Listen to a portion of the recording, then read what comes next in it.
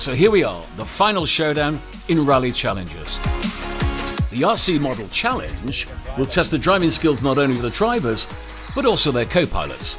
The co-pilots will complete this circuit with the R5 RC model and then pass the baton on to their teammate. So who's your money on? Kalle and Jonne or Juuso and Tapio? Blue or green? Right, here we go.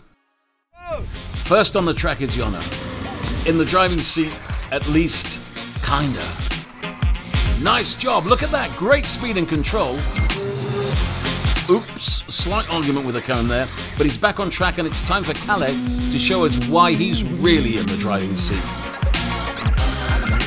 Look at this. Poetry in motion. Beautiful. Now the donuts have burned some rubber. And into the final stretch. That's a cracking time. Let's see what the second crew can do. Tapio starts, and well, this doesn't look good. Bit of finger trouble with the remote there. nice recovery, though. Ah, it's Rallycross now. oh, come on, Tapio, you can do better than this, man. Nightmare drive by Tapio, and it's Juuso's turn to try and save the day. He'll need the drive of his life. Quality skills by Juuso, but Tapio's poor performance left his teammate with a mountain to climb.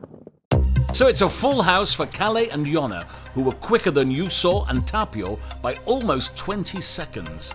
Three wins out of three in our Rally Challenges series. Thanks for watching, and see you next time.